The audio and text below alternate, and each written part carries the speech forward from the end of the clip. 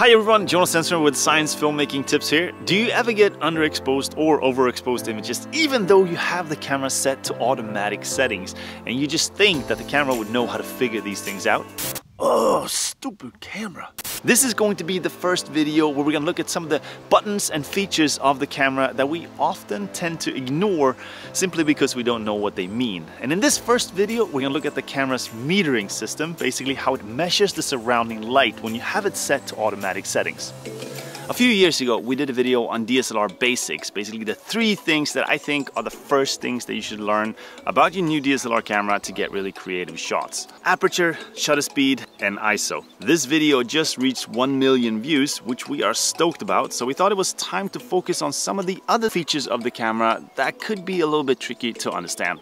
First, in the DSLR basics video, we talked about the different shooting modes of the camera and how your camera helps you choose the best settings. Well, when you have your camera on any form of auto settings that is. Fully automatic, aperture priority or shutter speed priority, it is important for us to understand that the camera will make some sort of calculation of what the best automatic settings are based on what it has been told to prioritize. All right, for this demonstration, I'm gonna be using my Canon uh, 5D Mark IV camera, but it will look uh, similar basically on every other camera as well.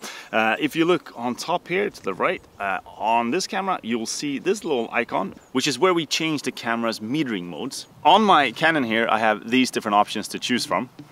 The evaluative metering, called Matrix on Nikon cameras, is kind of an all-around setting that measures the whole screen, but put extra emphasis on what the camera is focused on. The center-weighted metering is similar to evaluative in that it measures the light from the whole frame, but it does not take the focus point into consideration.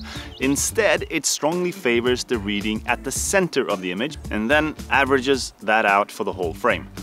The other end of the spectrum would be the spot metering, which measures only the light in a small area of the center of the screen. And the last one being partial metering, which is a bit more forgiving than spot metering and measures the light over a larger area than the spot metering. All right, so let's look at these four in a little bit more detail. The evaluative metering is kind of the default setting for most cameras and it works really well with portraits and when things are backlit as it is the point in focus that is the main priority for the camera.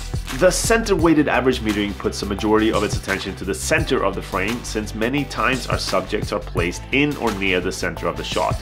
This is often the system used by point and shoot cameras that don't allow the same manual control over a shot. For most shots and most photographers though, I say choose the evaluative measuring instead of the center weighted, as I think the center weighted is both too basic and too advanced for most users. The spot metering is also pretty advanced and is used to measure the light at a very specific part of a subject. Personally, I only really recommend to have your camera set to spot when you feel really confident with exposure and light metering. If you have your camera accidentally set to spot metering, it could absolutely be a reason why your shots have come out either over or underexposed. Partial metering, on the other hand, can be handy to test out at times when the background is causing your subject to be heavily backlit, as it focuses the metering on a smaller area than evaluative metering, but keeps it more flexible than the spot metering. One last thing to mention is the scale that usually is at the bottom of your screen, which will give you an indication of what the camera thinks your settings, aperture, shutter speed and ISO should be using the metering modes that you have selected. If the indicator is going up on the plus side, it means that the camera is thinking your settings are on the overexposed side, and the opposite if the indicator is dropping below zero. I personally tend to keep my settings at about one third step overexposed, which will still allow me to make the adjustments needed in post-production. Alright everyone, I hope that cleared up at least one more function of your new camera. Uh, make sure you also check out some of our other channels and our social media feeds for more inspiration stuff.